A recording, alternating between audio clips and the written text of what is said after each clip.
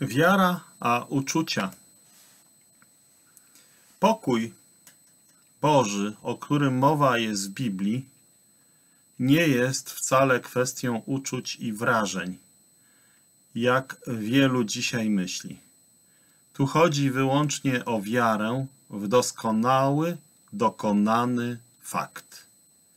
Wiara ta zostaje zdziałana przez moc Ducha Świętego w duszy odczuwającego swą niemoc grzesznika. Wiara różni się w zasadniczy sposób od uczuć serca albo pustego, myślowego, intelektualnego przytakiwania. Ani jedno, ani drugie nie jest wiarą i nie ma z nią nic wspólnego. Nawet jeśli niektórzy ludzie skłaniają się do takiego przekonania, jakże poważna pomyłka. Stwierdzenie takie sprowadza wiarę do czysto ludzkiego wymysłu, podczas gdy w rzeczywistości jest ona ustanowieniem Boga i pochodzi od Boga, pochodzi od Niego. Chwyta się prawdy Bożej ta wiara i prowadzi duszę do bezpośredniej Bożej obecności, do Jego bezpośredniej obecności.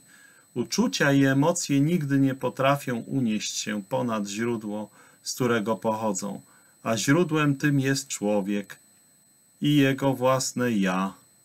Wiara natomiast ma związek z Bogiem oraz Jego wiecznym Słowem i jest żywą więzią, która spaja serce z Bogiem, który ją podarował. Tak możemy przeczytać między innymi w liście do Efezjan, drugi rozdział, ósmy werset oraz w liście Jakuba, pierwszy rozdział, siedemnasty werset. Nawet szlachetne ludzkie uczucia nie mogą połączyć duszy z Bogiem. Nie są one ani Boże, ani wieczne, lecz raczej ludzkie i zmienne. Przypominają drzewko Jonasza, które urosło jednej nocy, a następnej uschło. Możemy o tym przeczytać Księdze Jonasza, czwarty rozdział, szósty do siódmego wersetu. Nie taka jest istota wiary. Ma ona żywy udział w całej wartości, mocy i realności źródła, z którego się wywodzi i w podmiocie, z którym ma do czynienia. Wiara usprawiedliwia duszę. Możemy o tym przeczytać w liście do Rzymian 5.1 oczyszcza serce. Też możemy o tym przeczytać w dziejach apostolskich. Czytamy to w dziejach apostolskich, 15 rozdział, 9 werset. Także wiara działa w miłości, o czym uczy nas list do Galacjan, 5 rozdział, 6 werset. Także wiara zwycięża świat, o czym uczy nas pierwszy list Jana, 5 rozdział, 4 werset. Uczucia i emocje nie są nigdy w stanie osiągnąć takich wzniosłych efektów. Są one przypisane do ludzkiej natury i do ziemi, podczas gdy wiara należy do Boga i nieba. Tamte zajęte są moim własnym ja. Tutaj, w przypadku wiary, obiektem wiary jest sam Chrystus. Uczucia kierują mój wzrok na mnie samego i ciągną mnie w dół a spojrzenie wiary skierowane jest na zewnątrz, całkowicie poza moją marną osobę i w górę. Emocje pozostawiają moją duszę w ciemności i dręczącej niepewności, natomiast wiara prowadzi do pokoju i światłości. Mają do czynienia z moim własnym stanem, który jest chwiejny, te uczucia, i poddany nieustannym zachwianiom kontraście do tego wiara ma do czynienia z niezmienną prawdą Bożą i wiecznie aktualną ofiarą Chrystusa. Bez wątpienia wiara też wywołuje pewne uczucia, ale są to uczucia spowodowane przez Ducha Świętego. Przy tym nie wolno nigdy popełniać poważnego błędu, jakim jest mieszanie owoców wiary, na przykład pokój, radość, z samą wiarą, Człowiek nie zostaje usprawiedliwiony przez uczucia ani przez wiarę i uczucia, lecz wyłącznie przez wiarę. A dlaczego?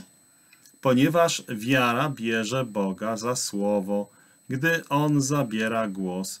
Przyjmuje Boga, przyjmuje Go takim, jakim objawił się w osobie i dziele Pana Jezusa Chrystusa, a to stanowi o życiu i sprawiedliwości i pokoju. Autentyczne uchwycenie się Boga takim, jakim On jest, prowadzi do wszelkich doczesnych i wiecznych błogosławieństw. Gdy człowiek odnajduje Boga, znajduje tym samym wszystko, co jest mu potrzebne na każdy czas i każdy etap jego egzystencji. Boga poznać można jedynie przez Jego własne objawienie i wiarę, którą On sam daje, dla której objawienie Boga jest jedynym oparciem i podłożem, na którym działa. Tak więc możemy chociaż trochę zrozumieć znaczenie tej wypowiedzi w pełnym jej wymiarze. Przez wiarę złożył Abel Bogu wartościowszą ofiarę niż Kain. Kain nie miał wiary i dlatego złożył ofiarę bezkrwawą. Abel wierzył i dlatego ofiarował zarówno krew, jak i tłuszcz. Symbolizują one życie Chrystusa oraz przewyższającą wszystko znakomitość Jego osoby. Krew wskazuje na to pierwsze, tłuszcz na drugie. Podczas epoki Mojżesza absolutny zakaz spożywania obejmował jedno i drugie. Krew to życie, a człowiek znajdujący się pod zakonem nie miał prawa do życia. W szóstym rozdziale Ewangelii według Jana znajdujemy jednak pouczenie mówiące, że bez spożywania krwi nie będziemy mieli w sobie życia, bo tak uczy nas Słowo Boże wypowiedziane przez Pana Jezusa. W Ewangelii Jana mamy to zapisane. Jeśli nie będziecie jedli ciała Syna Człowieczego i pili krwi Jego, nie będziecie mieli życia w sobie. Werset ten mówi o posiadaniu żywego, autentycznego działu w śmierci Chrystusa i żywej z Nim społeczności. Chrystus jest życiem. Oprócz nie ma, Niego nie ma życia. Oprócz Chrystusa nie ma życia. W Nim było życie.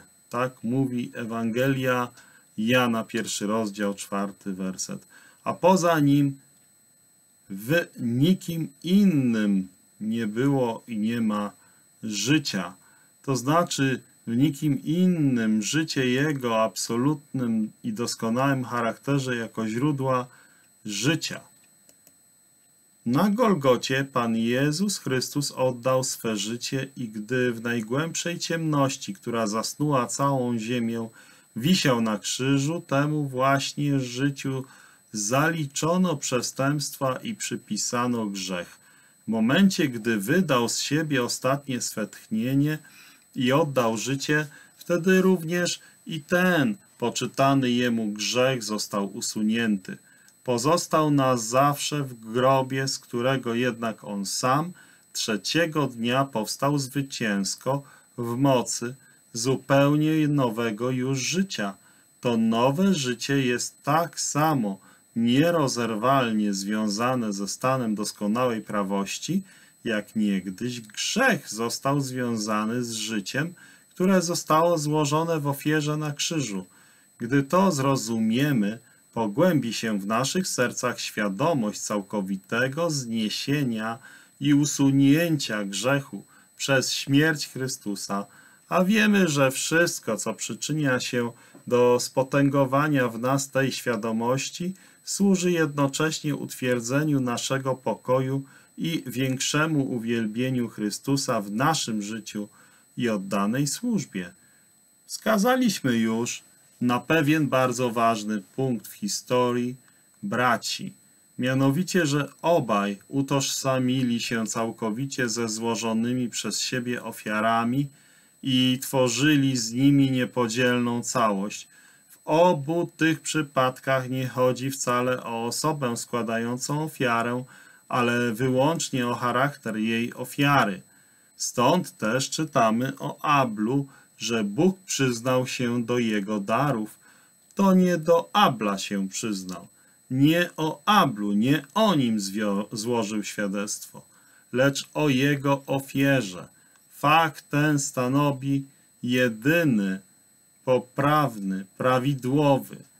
Tak, fakt ten stanowi jedyny pełnoprawny grunt pokoju wierzącego i przyjęcia go przez Boga.